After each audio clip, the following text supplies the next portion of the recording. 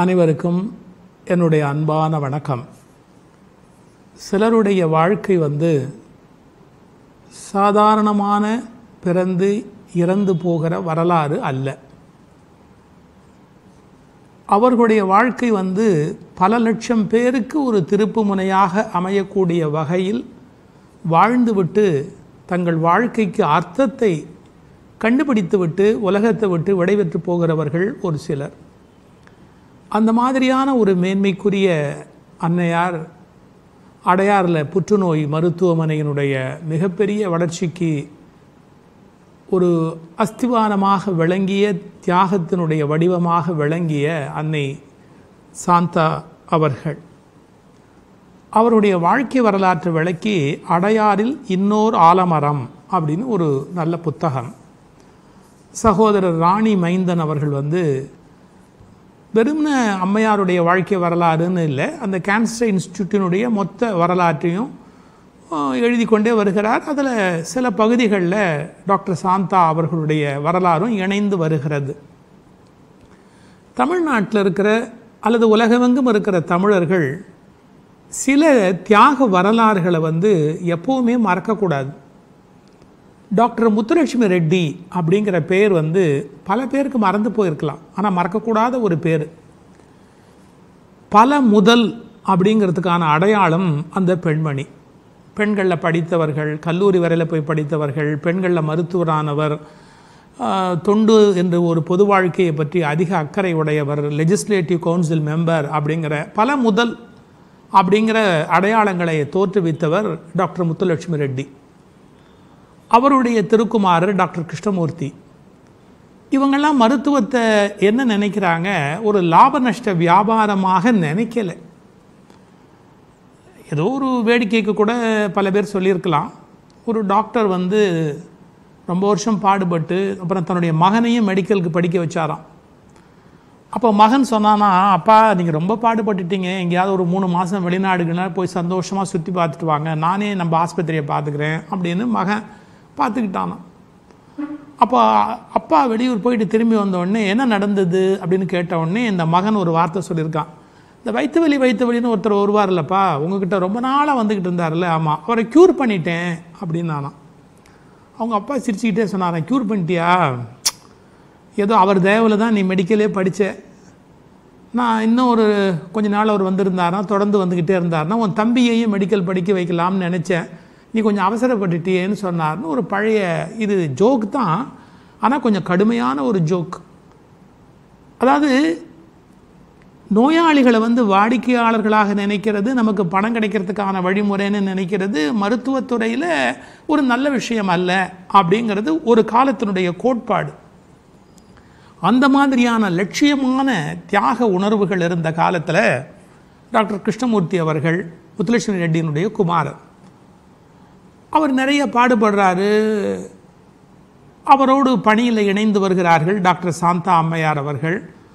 அவர்களுக்கு இந்த மக்களுக்கு நிலைத்த ஒரு பணி செய்யணும் அப்படின்னு நினைப்பு.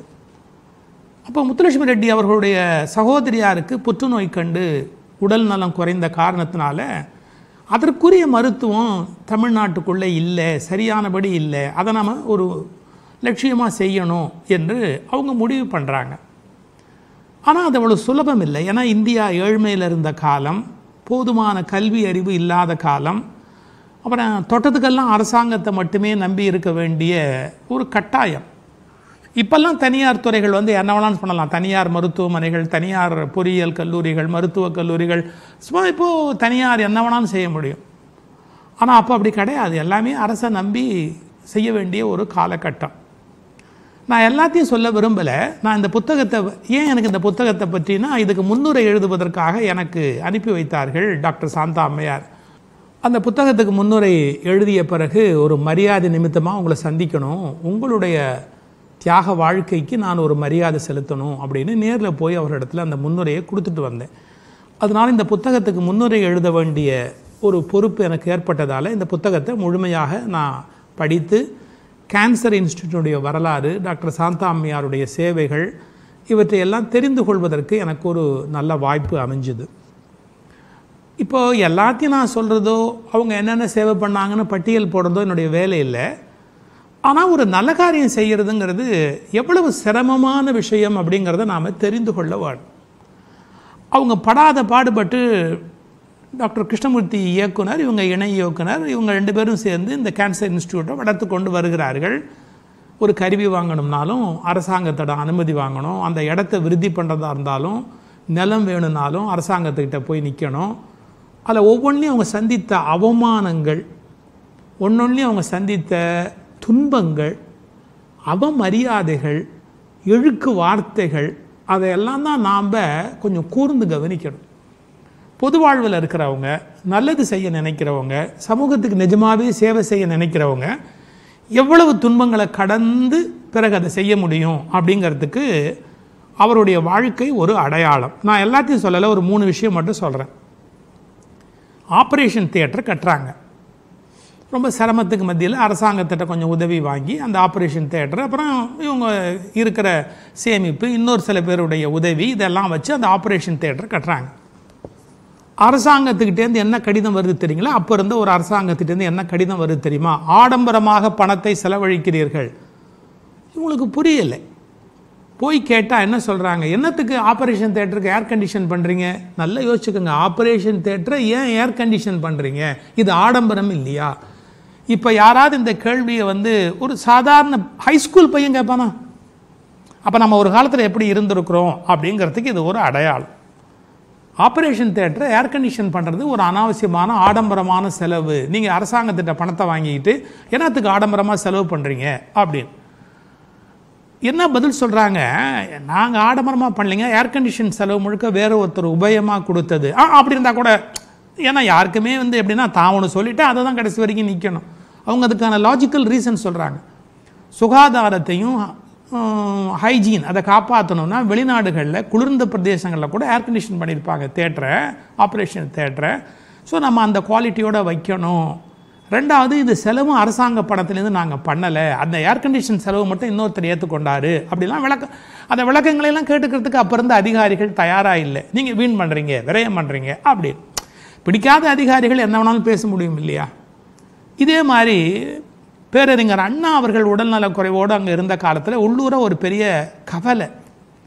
ஏன்னா அண்ணா அவர்களுக்கு உடல்நலத்தில் ஒரு ஏதாவது ஒரு குறை ஏற்பட்டு விட்டால் தொண்டர்களுடைய கோபதாபங்கள் மருத்துவமனை மேலே வெளிப்பட்டுடும். அப்போது அமைச்சரவையில் இருந்த டாக்டர் கலைஞர் அவர்களிடத்தில் அதை கிருஷ்ணமூர்த்தி ரொம்ப அழகாக வெளிப்படுத்துகிறார் இது மாதிரி எதுவும் நடந்துடக்கூடாது அப்படிங்கிறத. உடனடியாக அவர் வந்து நடவடிக்கை எடுத்து தொண்டர்களை எல்லாம் அப்புறப்படுத்தி இந்த மருத்துவமனைக்கு எந்த விதமான சேதமும் நிகழக்கூடாது அப்படிங்கிறதுக்கு அப்படி புரிந்து கொள்ளக்கூடிய ஒன்று ரெண்டு பேர். அதை அவங்களுடைய வாழ்க்கையில் யார் யார் அப்படி குறிப்பிடுறாங்கன்னு கேட்டால் மத்திய அமைச்சராக இருந்த பாரத் ரத்னா சி. சுப்பிரமணியம் அவர்கள். அது மாதிரி பெருந்தலைவர் காமராஜர் அவர்கள். இவங்களாம் இந்த மருத்துவமனையினுடைய வளர்ச்சியில் ரொம்ப அக்கறை எடுத்துக்கிட்டு இருக்காங்க. அது மட்டும் இல்லை ஒரு பிரச்சனைன்னு சொன்னால் அதனுடைய அடி ஆழத்தை புரிந்து கொள்வதிலையும் உதவி செய்வதிலையும் சி. சுப்பிரமணியம் ரொம்ப அக்கறை காட்டியிருக்கிறார். அவருக்கு வந்து அதனுடைய ஆழத்தை உடனே புரிந்து கொள்ளக்கூடிய சக்தி இருந்தது. என்ன பண்ணினா அது உண்மையான மருத்துவமாக இருக்க முடியும் அப்படிங்கிறத உடனடியாக உள்வாங்கிக் கொள்ளக்கூடிய ஆற்றல் இருந்தது அக்கறை இருந்தது இது வளருவதற்கு அரசு உதவ வேண்டுங்கிற எண்ணமும் இருந்தது. நான் இன்னொரு செய்தி சொல்கிறேன் பாருங்கள் பத்து ஏக்கர் நிலம் இருந்தால் இன்னும் கொஞ்சம் இந்த மருத்துவமனையை விரிவுபடுத்தலாம் அப்படின்னு நினச்சி கேட்குறாங்க முதல்வராக இருந்த டாக்டர் கலைஞர் பத்து ஏக்கர் நிலம் கொடுக்கறத ஒத்துக்கிறார். ராஜ்பவன் வளாகத்தில் இருக்கிற அந்த இடத்த கொடுக்கலாம் அப்படின்னு கொடுக்குறார். உங்களுக்கு தெரியும் வரலாறு என்னன்னு? எமர்ஜென்சி நெருக்கடி நிலைமை வந்தது. அப்போ அரசாங்கத்தினுடைய அமைப்பே முற்றிலும் மாறி போச்சு கொடுத்த நிலத்தை திரும்பி வாங்கிட்டாங்க. ஏதோ அவங்க கொடுத்துட்டாங்க. அதனால அந்த நிலத்தை வச்சுக்கக்கூடாது. எப்போவுமே இது ஒரு பெரிய கொடுமை. ஒரு அரசு மாதிரி இன்னொரு அரசு வந்ததுன்னா எது நல்லது எது கெட்டது எது சரி எது சேவை எது ஊழல் அப்படிலாம் பிரிச்செல்லாம் யாரும் பார்க்க மாட்டாங்க.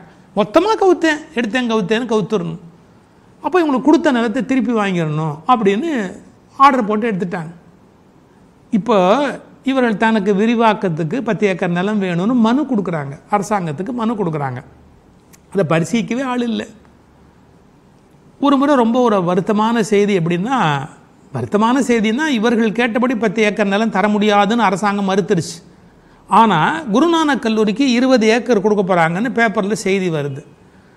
அப்போது சாந்தா அம்மையார் ரொம்ப வருத்தப்பட்டு அவர் டாக்டர்கிட்ட பேசுகிறாங்க இது என்ன அநியாயம்? நம்ம மருத்துவமனை கேட்குறோம் நமக்காக கேட்குறோம் கொடுக்க மாட்டேங்கிறாங்க.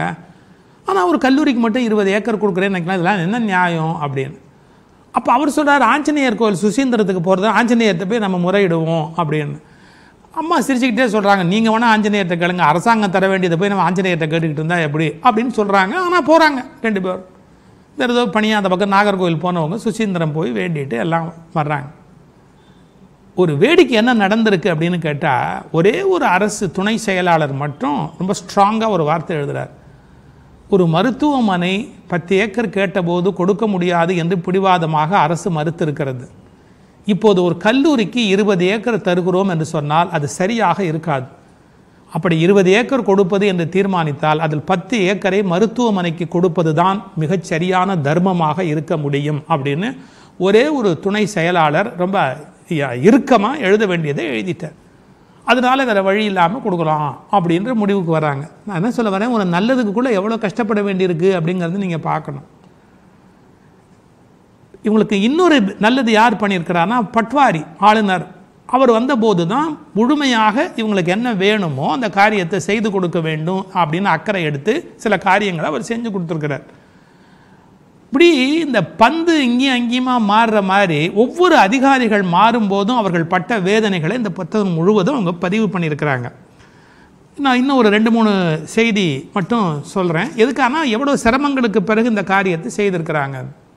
மொத்தமாகவே இவங்ககிட்டேருந்து இதை எடுத்துடணும்னு முடிவு பண்ணுறாங்க ஏன்னா அது ராஜ்பவன் வளாகத்தில் இருக்குது அது யார் என்னன்னு நான் சொல்ல விரும்பலை. ஒரு பெரிய இடத்து குடும்பம் அங்கே வந்துட்டு போனதுக்கப்புறம் குழந்தைங்கள்லாம் அங்கே இருக்கிற பாம்பு பண்ணையை பார்க்க போகணுங்கிற போது புத்துநோய் ஆஸ்பத்திரி அங்கே இருக்குன்னு சொன்னால் பிரச்சனையாயிடும் அப்படின்னு தோணும் போது மொத்தமாகவே இந்த ஆஸ்பத்திரி அந்த இடத்த விட்டு காலி பண்ணிட்டா என்ன? ரொம்ப நாளாக பல பேர் ஆசையாக காத்துக்கிட்டு இருப்பாங்கல்ல. அதில் ஒரு சில பேர் அது மாதிரியான எண்ணத்தோட ரொம்ப கடுமையான நடவடிக்கைகள் எல்லாம். இதை தாண்டி வெளிநாட்டிலேருந்து ஏதாவது கருவிகள் புதுமையாக வந்த கருவிகள் கொடுக்கலான்னா மத்திய அரசோட அனுமதியை பெறுவதுங்கிறது அவ்வளோ சுலபம் இல்லை. கனடா நாட்டு அரசு ஒரு கருவி கொடுக்கலாம் அப்படின்னு முடிவு பண்ணது. அங்கே இருக்கிற அணுசக்தி துறையில் இருக்கிற ஒரு மிகச்சிறந்த மனிதர் வந்தவர் இவங்களுக்கு ஒரு கருவி கொடுக்கலாம் அப்படின்னு. ஆனால் அதை கொடுப்பதற்கு பெரிய தடை. அதை பெறுவதற்கு பெரிய தடை. அவங்க கூட கொஞ்சம் தொகை கொடுத்தா இன்னும் நல்ல கருவி கொடுக்க முடியும் அப்படிங்கிறாங்க. ஆனால் எங்களால் அதை கொடுக்க முடியாது. எங்களுக்கு அந்த பண வசதி இல்லை அப்படிங்கிறாங்க. அந்த அணுசக்தி துறையில் பணி செய்கிறவர்களே நன்கொடையை திரட்டி கூடுதல் பணம் போட்டு கடைசியில் நல்ல கருவியை இவங்களுக்கு அனுப்புகிறாங்க அனுப்புன கருவியை இந்திய அரசோட அனுமதியை பெற்று உள்ளே கொண்டு வந்து வைக்கிறதுக்குள்ள அத்தனை துன்பங்கள் அத்தனை சிக்கல்கள். சட்டம் அதிகாரிகள் நல்லது செய்வதை விட நல்லது செய்ய விடாதபடி செய்வதில் வலிமை உடைய ஒரு சில நபர்கள் அவர்கள் மூலமாக அவங்க வாழ்க்கையில் சந்தித்த துயரங்கள். ஏன்னா இப்போ யாராவது இறந்து போனால் மாலையை போட்டு எல்லாம் அவங்க பெரிய தியாகின்னு சொல்லிட்டு போகிறது ஈஸி ஆனால் அவங்க என்ன கஷ்டப்பட்டாங்கன்னு மற்றவங்களுக்கு தெரியணும் இல்லை அதுக்காக தான் உட்காந்து இந்த விலாவாரியாக விளக்கிக்கிட்டு இருக்கிறேன். அதன் பிறகு இன்னொரு மிக முக்கியமான ஒரு செய்தி நம்ம புரிந்து கொள்ள வேண்டிய ஒரு செய்தி. வருமான வரித்துறையிலேருந்து இவங்க ரெண்டு பேரையும் வர சொல்லி எடா கூடமாக கேள்வி கேட்குறாங்க நீங்கள் என்ன ஏகப்பட்ட பணம் வச்சுருக்கிறீங்க? டெபாசிட் எப்படி வச்சுருக்கிறீங்க? உங்கள்கிட்ட பணம் எப்படி வந்தது? என்ன வந்தது? அம்மா சொல்கிறாங்க என்னோடய சம்பளத்தெல்லாம் நான் சேமிப்பில் சேமித்து வைப்பேன் அப்படின்னு. அப்படி பார்த்தா அப்படி தெரியலையே நீங்கள் வேற கருவிகள் வாங்கினதில் எக்ஸ்ட்ரா காசு வாங்கியிருக்கீங்க. ஒரு எல்லையில் சாந்தா அம்மையாருக்கு கோபம் வருது. உங்களுக்கு தான் பெரிய உளவுத்துறை இருக்குல்ல வந்து நீங்கள் பார்த்துக்க வேண்டியது தானே? எப்படி எங்கேருந்து நாங்கள் பணத்தை சம்பாரித்து வச்சுருக்கோன்னு பார்த்துக்க வேண்டியது தானே? வேறு வேலை இல்லையா? சேவை செய்கிற எங்களை நீங்கள் சேவை செய்ய விடா அவமானப்படுத்துகிற மாதிரி பேசுகிறீங்களே அப்படின்னு வருமான வரித்துறை அதிகாரிகள்கிட்ட ரொம்ப சீறி விழுந்திருக்காங்க. அப்போ அவங்க சொல்கிறாங்க மேடம் மேலிடத்துலேருந்து எங்களுக்கு உத்தரவு. அதனால் நாங்கள் அப்படி தான் நடந்து கொள்வோம் அப்படின்னு. இதை எதுக்கு சொல்ல வரேன்? நல்லது செய்கிறவர்களை கூட நல்லது செய்ய விடாதபடி செய்வதற்கு உரிய ஒரு சில காலகட்டங்கள் அமைப்பு முறைகள். எல்லாத்தையும் தாண்டி பொதுமக்களுடைய ஒத்துழைப்பு ஒரு சில அதிகாரிகளுடைய நல்ல மனம் ஒரு சில அரசியல்வாதிகளுடைய அதை புரிந்து கொள்ளுகிற திறன். அதாவது இவங்க உண்மையிலேயே சேவை தான் பண்ணுறாங்க இந்த சேவைக்கு வேண்டிய உதவியை அரசு செய்யணும் அப்படின்னு புரிந்து கொள்ளுகிற திறன். அதெல்லாம் உள்ள காலகட்டத்தில் தான் அது மிகப்பெரிய சேவை அமைப்பாக விரிவடைந்து பலருக்கு பல்லாயிரம் ஒரு காலத்தில் புற்றுநோய்னா என்ன சார்? சினிமா படத்தில் கிளைமேக்ஸ் சீன்னு அதுதான். ஒரு ஒருத்தன் கதையை முடிக்கணும்னா அவருக்கு புற்றுநோய் ஆ! அப்படிம்பாங்க. புற்றுநோய்னா அதோட கதை முடிஞ்சு போச்சு அப்படிங்கிற மாதிரி. அப்படி இல்லை. அதுலேருந்து மீள முடியும் அதுலேருந்து மீட்டெடுக்க முடியும். ஆரம்ப காலத்தில் கண்டுபிடிச்சிட்டா நாம் வந்து அதை ஒரே அடியாக இல்லாமல் ஆக்கிட முடியும். அப்படிங்கிறதெல்லாம் எவ்வளோ பெரிய சாதனை. இவைகள்லாம் ஏழை எளிய மக்களுக்கும் கிடைக்க வேண்டும் என்பதற்காக மிகப்பெரிய அளவு தியாகமான வாழ்க்கை வாழ்ந்த மிகப்பெரிய சேவை செய்து அப்புறம் அரசு விருதுகளும் அவங்களுக்கு கொடுக்கப்பட்டது. அது வேறு விஷயம். அந்த சேவை உணர்வுடைய அம்மையார். அவங்களுக்கு வந்து சுலபத்தில் தூக்கம் வராது. நேரமும் மருத்துவமனை பற்றியே கவலை. அங்கே இருக்கிற எந்த பேஷண்ட்டாக இருந்தாலும் அவங்கள பற்றிய கவலை. யாருக்கு எப்படி உதவி பண்ணலாம் யாருக்கு எப்படி நல்லது பண்ணலாம் இதுவே பெரிய கவலை. அந்த மாதிரி வாழ்ந்தவங்க ஒரு செய்தி சொல்கிறாங்க அதை நாம் பின்பற்ற வேண்டியது. புகையிலையோடு ஒரு போராட்டம் அப்படின்னு ஒரு கருத்தை முன்வைக்கிறாங்க புற்றுநோய் வருவதற்கான மூல காரணம் புகையிலை. பெரிய அளவில். அது தவிர நிறைய காரணம் இருக்குது அந்த புகையிலையை முற்றிலுமாக நம்ம ஒழிச்சிட்டோம்னா இவ்வளவு புற்றுநோய் வந்து ஏழை எளிய மக்களை தாக்கியிருக்க முடியாது அந்த காலகட்டத்தில். அதனால் புகையிலையோடு ஒரு போராட்டம் நம்ம நடத்தணும். புகையிலையை முற்றிலுமாக எப்படி விளக்குவது அப்படிங்கிறது அவங்க கோரிக்கையை ஏற்று தான் பொது இடத்துல புகைப்பிடிப்பது தவறு என்பதெல்லாம் சட்டமாக ஆக்கப்பட்டது. அதனால் அவர்களுடைய அந்த மறைவினை ஒட்டி உலகம் அவருக்கு மரியாதை செலுத்துகிற போது புகையிலை பயன்படுத்துகிறவங்க சிகரெட்லேயோ எதுலேயோ புகையிலையை பயன்படுத்துகிறவங்க இது ஒரு பெரிய புற்றுநோய்க்கான காரணி. உங்களுக்கு மட்டும் இல்லை அந்த புகை யாருக்கு போகுதோ அவங்களுக்கும் புற்றுநோய்க்கான காரணி அப்படிங்கிறத புரிந்து கொண்டு அதை விட்டு விடுவது நல்லது. தன் வாழ்நாள் முழுவதும் உறக்கம் என்பதை கூட பார்க்காம தன் முதுமை என்பதை பற்றி கூட பொருட்படுத்தாமல் இயலாமை என்பதை பற்றி கவலைப்படாமல் என்றைக்கும் சேவை சேவை சேவை என்றே வாழ்ந்த அந்த அன்னையாருடைய ஆத்மா சாந்தி அடையணும் அப்படின்னு பிரார்த்தனை பண்ணிக்கிறேன். அவங்களுக்கு தூங்குறதுக்கு நேரம் இல்லாமல் சேவை பண்ணாங்க. இப்போ தான் டேங்க் கிடச்சிருக்கு கண்ணுரங்கம்மா கண்ணுரங்கம்